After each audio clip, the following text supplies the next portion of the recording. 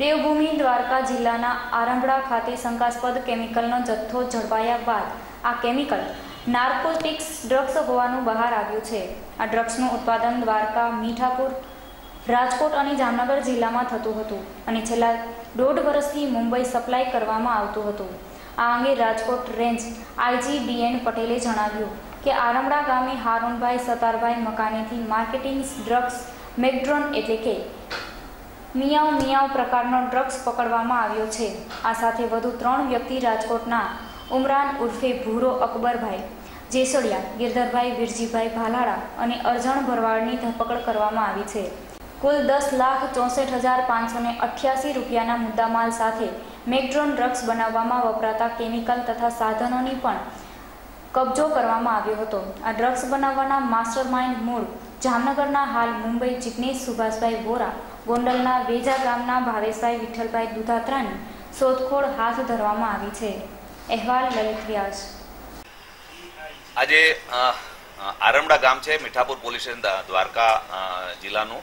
ત્યાં આગળ અઢાર તારીખે ગામવાસીઓને આંખોમાં બળતરા થઈ અને ગળામાં પણ બળતરા થઈ એટલે ખૂબ અસહ્ય રીતે લોકોને તકલીફ થતા. ગામવાળા બધા ભેગા થઈ ગયેલા અને ત્યાં જે ટાટા કેમિકલ છે, એના જે ક્યારા છે, એની અંદર કોઈ અજાણ્યા માણસો આઠ દસ બેરલ છે એ એનું કેરબામાં કેમિકલ, વેસ્ટ કેમિકલ નાખી ગયેલા એના પછી આ વસ્તુ ચાલુ થયેલી એટલે પોલીસે જાણવા જોગ તપાસ કરી.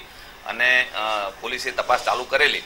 અને એના અંતે માણસો આઈડેન્ટિફાય કરીને કોણ લોકો આ કેમિકલ ત્યાં ડિસ્પોઝ કરી ગયા હતા, એના આધારે આરમડા ગામ જે છે, એના આઉટસ્કર્ટ્સમાં ગામની બહાર એક હારૂન સત્તાર સુરા છે, એને લગભગ ત્રણેક વર્ષ પહેલાં મકાન બનાવેલું છે અને એ મકાનની અંદર તપાસ કરી તો ત્યાં આગળ વિવિધ પ્રકારના કેમિકલ્સ જે છે, એ મળી આવેલા કેમિકલ્સ લગભગ દસ બાર જાતના કેમિકલ હતા મશીન હતું પ્રોસેસ કરવા માટેનું. અને બાકી મોટર હતી અને અલગ અલગ પ્રકારના જે સાધનો હતા, તો એ શંકાસ્પદ રીતે મળી આવતા. એમાં અઢાર તારીખ વીસ તારીખે આ બાબતે ઉચ્ચ કક્ષાએ પણ રજૂઆત થયેલી. એટલે ઉચ્ચ કક્ષાએથી સરકાર તરફથી પણ સૂચના મળેલી કે તમે આમાં ઊંડાણપૂર્વક તપાસ કરો. કારણ કે કોસ્ટલ એરિયાના કારણે માનો કે એક્સપ્લોઝિવ બનાવવાનું અથવા કેમિકલ હથિયારો બનાવવાનું કોઈ ષડયંત્ર છે, નેશનલ ઇન્ટરનેશનલ કોઈ એક્ટિવિટી ચાલે છે કે કેમ, તો એ બાબતે તપાસ કરતા અમે જાતે તપાસ કરી, જાતે સ્થળની ઘટના સ્થળની મુલાકાત લીધી.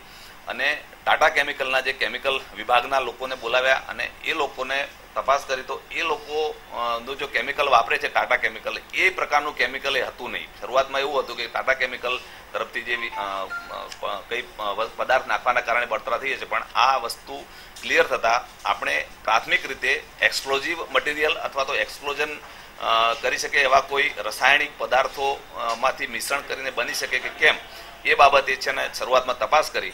અને ફોરેન્સિક સાયન્સને બોલાવ્યું અને ગંભીરતા જોઈ અને આપણે અમદાવાદ ગાંધીનગર ખાતે પણ એક્સપર્ટ સાથે ચર્ચા કર્યા. પછી એમણે જે અહીંયા રાજકોટ અને પોરબંદરના એક્સપર્ટ્સ હતા, એમને પણ જગ્યા ઉપર મોકલી આપ્યા. અને પ્રાથમિક દ્રષ્ટિએ દરેક સેમ્પલોમાંથી સેમ્પલ કલેક્ટ કરીને પ્રાથમિક તપાસણી કરી. એની અંદર શરૂઆતમાં એક્સપ્લોઝિવ સબસ્ટન્સ અથવા તો એક્સપ્લોઝિવ પદાર્થો બને, બોમ્બ બને અથવા તો કેમિકલ બોમ્બ બને, એવી કોઈ પ્રાથમિક દ્રષ્ટિએ કોઈ એમાં હાજરી જણાઈ આવી નહીં. પરંતુ એનું સંયોજન કેમિકલ પ્રોસેસના કારણે થઈ શકે કે કેમ? એ બાબતે આપણે રાહ જોવાની હતી. ફાઇનલ એનું પૃથ્થકરણ આવે ત્યાં સુધી. કારણ કે ફોરેન્સિક સાયન્સ ગાંધીનગરની અંદર આપણે નમૂના મોકલાવ્યા હતા. એનું રિઝલ્ટ આવે ત્યાં સુધી રાહ જોવાની હતી. પણ દરમિયાનમાં અમને થોડું બીજી ડિરેક્શનમાં પણ તપાસ કરી કે આ કદાચ પ્રતિબંધિત ડ્રગ્સ અથવા તો સાયકોટ્રોપિક સબસ્ટન્સ જે છે, એ બનાવવાનું એ દિશામાં તપાસ કરી તો પ્રાથમિક દ્રષ્ટિએ ફરીથી એફએસએલ વગેરેને અમે ચર્ચા કર્યા પછી ફરીથી સ્થળ ઉપર જઈ અને એની જે સાયકોટ્રોપિક સબસ્ટન્સની જે કીટ સાથે જે એક્સપર્ટ માણસો એને બોલાવી અને તપાસ કરી, તો એમાં જે અલગ અલગ જેના લિટમસ ટાઈપના જે ટેસ્ટ આવે છે ટેસ્ટની અંદર એમાં પોઝિટિવ ડ્રગ્સનું હોવાનું સાબિત એમાં મળી આવ્યું.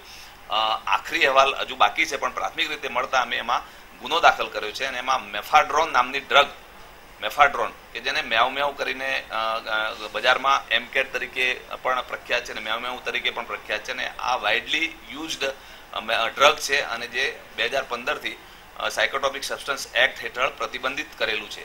તેથી પ્રાથમિક રીતે અમે જે ગોડાઉનના માલિક વગેરેની પૂછપરછ કરતા હતા અને એના ઉપરથી ખ્યાલ આવ્યો કે આ લોકો છેલ્લા દોઢેક વર્ષથી અલગ અલગ જગ્યાએ આ મેફાડ્રેન ડ્રગ છે, એને કેવી રીતે બનાવી, એનું આખું નોલેજ શિક્ષણ મેળવી અને હારૂન સત્તાર સોરા નામના વ્યક્તિના જે ગોડાઉન છે, એનો માલિક હતો, એની પૂછપરછ કરી અને એમાં એને મુખ્ય એનો ભાગ- ભાગીદાર હતો પિનલ ચોટાઈ. તો બંને જણા છે ને આ નેટ ઉપરથી અને અલગ અલગ રીતે આ મેફાડ્રોન ડ્રગ છે, એ કેવી રીતે બને, એની પ્રોસેસ કરીને ફાઇનલી એ લોકોએ છેલ્લા છ સાત મહિનાથી આ ફાઇનલ પ્રોડક્ટ સુધી પહોંચેલા હતા. અને એમાં એક પિનલ ચોટાઈ જિગ્નેશ શાહ નામનો વ્યક્તિ જે છે, એ જિગ્નેશ શાહ નામનો વ્યક્તિ મુંબઈમાં મૂળ જામનગરનો છે, પણ મુંબઈમાં અવારનવાર એની ટ્રીપ્સ હોય છે, મુંબઈમાં મોટાભાગે રહે છે અને થોડી અયાસી જીવન પણ છે એનું બધા શોખ ઘણા કરે છે અને દેખીતી આવકનું કોઈ સાધન નથી એમ નાના મોટા ધંધા એના દવાઓના દુકાન વગેરે છે, પણ એનું જે છે એ જીવનશૈલીને જોતા, એની સાથે એ લોકોએ ત્યાં આ ડ્રગ બનાવીએ તો આટલો મોટો નફો મળે છે, એમ છે એવું આ લોકોને ભાવેશ અને પિનલને સમજાવ્યું હશે અને એના પછી ભાવેશ નામનો વ્યક્તિ જે છે કે એ કેમિકલ જે છે, master of chemical chemical science છે, એમાં કેમિકલ એન્જિન કેમિકલનો જાણકાર છે, જુદી જુદી બનાવટોનો. એટલે એનો પિનલ ચોટાઈએ ઉપયોગ કરી અને આ ડ્રગ બનાવવાની દિશામાં આગળ વધ્યા. તો આ પ્રાઇમરી રીતે આપણને ડ્રગની હાજરી જણાઈ આવતા આપણે ગુનો દાખલ કર્યો છે. સાયકોટ્રોપિક સબસ્ટન્સ એક્ટ હેઠળ પ્રાઇમરી રીતે પૂર્વ તૈયારી પ્રતિબંધિત ડ્રગ ને કેમિકલનું રાખવું, વેચાણ કરવું, બનાવવું અને સાથે સાથે પૂર્વ તૈયારી કોન્સ્પિરસી અને એનો પ્રયત્ન. આ બધી જ કલમો હેઠળ આપણે એનડીપીએસ હેઠળ ગુનો દાખલ કર્યો છે.